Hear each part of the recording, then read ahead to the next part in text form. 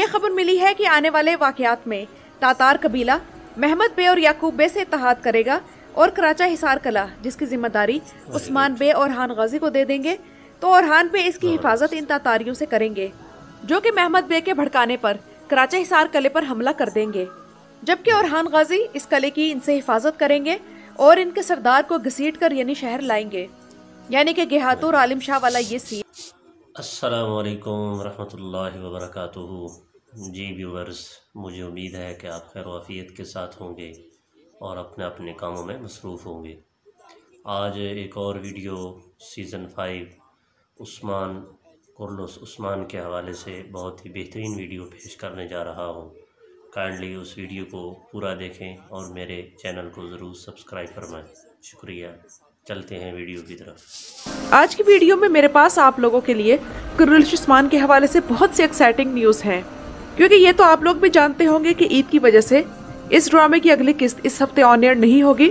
तो इस दौरान काफ़ी फ्री टाइम मोहम्मद बोजदैक के पास था। इसलिए उन्होंने इस ड्रामे के मदाओं के वो गिले शिकवे दूर करने का फैसला किया है, जो वो काफ़ी अरसे से कर रहे थे। और मोहम्मद बोजदैग ने इस ड्रामे के हवाले से काफ़ी बड़े और अहम फैसले किए हैं, जो कि आने वाली किस्तों की तमाम कहानी और नक्शा ही बदल कर रख देंगे। तो वो फैसले क्या हैं? और ड्रामे में क्या नई तब्दीलियाँ की गई हैं? कौन से नए अदाकार इस ड्रामे में शामिल हो रहे हैं? और क्या नए सिनेरियोज हम आगे देखने वाले हैं? तो ये सब कुछ मैं बताऊँगी आप लोगों को आज की इस वीडियो में।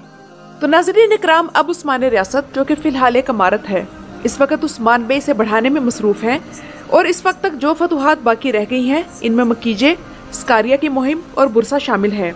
और याकूब बे के उस्मान में दोबारा शामिल होने की खबर तो मैं आप लोगों को अपनी पिछली वीडियो में दे ही चुकी हूँ।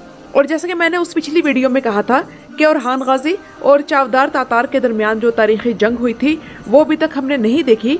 तो महमद बोजदैक का हमें वो तारीखी वाक़ दिखाने का मूड भी बन गया है। इसलिए कुरलशमान में एक नया अदाकार शामिल किया गया है, जिसका नाम उम्मीद कान तारचिलार है और ड्रामे में इसका नाम होगा उलझाए, जो कि चावदार तातार कबीले का सरबराह होगा।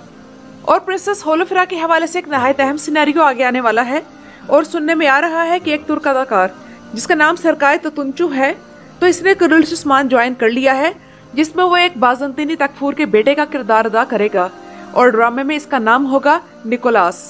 तो हो सकता है कि ये होलोफिरा का मंगेतर हो, जो कि और हान गाजी को होलोफिरा के मामले में काफ़ी टफ टाइम दे। और नाजरीन इकराम, जर्मियान कबीले के सरदार याकूबी की अगर बात करें तो ये बहुत अच्छा अदाकार है, और महमद कुतुल अमारे में भी इसका ज़बरदस्त किरदार था, जबकि कुरलशमान में भी ये एक लालची और इकतदार का भूखा शख्स दिखाया गया है, जबकि इसकी बीवी भी इससे कम नहीं।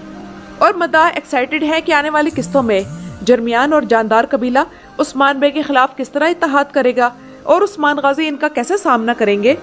तो इस हवाले से एक ज़बरदस्त सिनेरियो आने वाला है।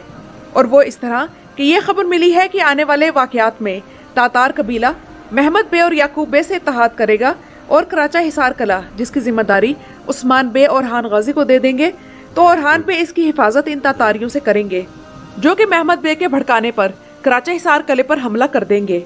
जबकि औरहान गाजी इस कले की इनसे हिफाजत करेंगे और इनके सरदार को घसीट कर यानी शहर लाएँगे। यानी कि गेहातुर आलिम शाह वाला ये सीन इस बार औरहान गाजी के ज़रिए रिपीट होगा। वैसे हम अब तक ये समझ रहे थे कि औरहान और महमद दोस्त बन गए हैं, लेकिन शायद ये हमारी गलत फहमी थी। और अब जबकि सादत खातून भी वापस आ रही है तो होलोफिरा के महमद से शादी का मामला फिर से ओपन हो सकता है। वैसे अगर राइटर्स एल्चम और हार्न ड्रामा दिखा सकते हैं तो होलोफिरा महमद ड्रामा क्यों नहीं वापस आ सकता? क्योंकि इस तरह दोनों पार्टियाँ बराबर बराबर रहेंगी।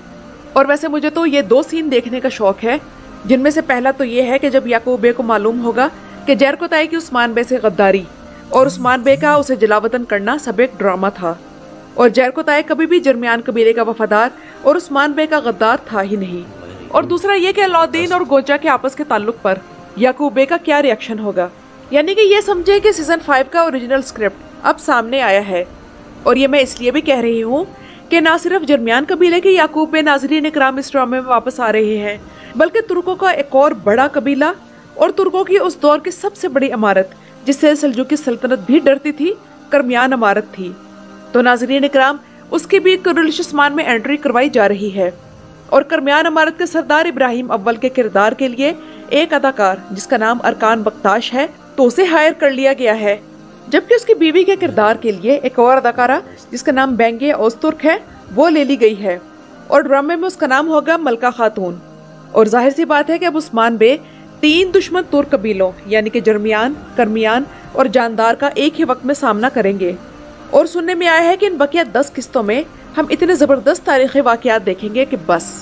और नाजरीन कराम इन तुर्क कबीलों की आमद का मतलब ये भी है कि फ़िलहाल अभी कहानी बुरसा की फतह की तरफ़ नहीं मोड़ी जाएगी और इन तुर्क कबीलों के हवाले से तारीखी वाकयात दिखाने पर फोकस होगा जहाँ एक तरफ़ उस्मान बेका तीन तुर्क सरदारों यानी याकूब इब्राहिम और सुलेमान से वास्ता पड़ेगा वही बाला खातून को भी दो दो तुर्क औरतों की दुश्मनी का सामना होगा यानी कि सादत खातून और मलिका खातून।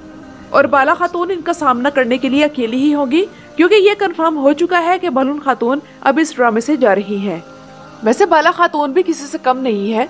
मैंने सोशल मीडिया पे किसी को कहते सुना कि पाकिस्तान की हानिया आमिर बाला खातून से मिलती जुलती है। तो भला बताइए जरा कि कहाँ हानिया आमिर और कहाँ बाला खातून? बल्कि मैं तो ये कहूँगी कि हानिया आमिर जैसी पचास तो बाला खातून नाश्ते में लेती होगी। कहाँ बाजियान की सरदार बाला खातून और कहाँ हानिया आमिर? और अब जबकि इस ड्रामे में चार बड़े तुर्क कबीले इकट्ठे हो रहे हैं तो इन कबीलों के हवाले से पहला सिनेरियो यह हो सकता है कि करमान कबीला याकूब बे की दुश्मनी में उस्मान बे से इतहाद कर ले जबकि याकूब बे का इतहाद पहले से ही जानदार कबीले के साथ तो है ही। तो इस तरह मुकाबला दो दो से बराबर हो यानी एक तरफ़ करमान और उस्मान और दूसरी तरफ़ जानदार और याकूब बे का जर्मियान। लेकिन राइटर्स इन सबको उस्मान बे के खिलाफ भी दिखा सकते हैं। तो ये होगा दूसरा सिनेरियो। जबकि तीसरा सिनेरियो ये हो सकता है कि उस्मान, गर्मियान और जर्मियान तीनों कबीले आपस में किसी से भी इतहाद ना करें और तीनों ही खुद को तुर्कों का सरदार तस्लीम करवाने की कोशिश करें। यानी कि थ्री वे स्ट्रगल तो इसका मतलब है कि अब मामला राइटर्स के हाथ में है। इन तुर्क कबीलों का आपस में इतहाद हो या ना हो, मेरे ख्याल में इमारत करमियान का याकूब बे के साथ इतहाद नहीं हो सकता। बल्कि इमारत करमियान याकूब बे को ये बताने आ रही है कि तुर्कों का असल सुल्तान आ गया है। तो अब आने वाली किस्तों में सियासी चालें होंगी, सियासी जंगे होंगी और सियासी दाव पेच लड़े जाएँगे। और इन चारों कबीलों की आपस की कश्मकश में जीत तो ज़ाहिर सी बात है कि उस्मान बे की ही होगी, लेकिन ये वाकयात राइटर्स कैसे पेश करेंगे, ये चीज़ अहमियत रखती है। और अगर करमान इमारत कुरमान में आ रही है तो इसका मतलब है कि कोनिया भी ड्रामे में वापस आएगी। जी नाजरीन, कैसी लगी आपको वीडियो?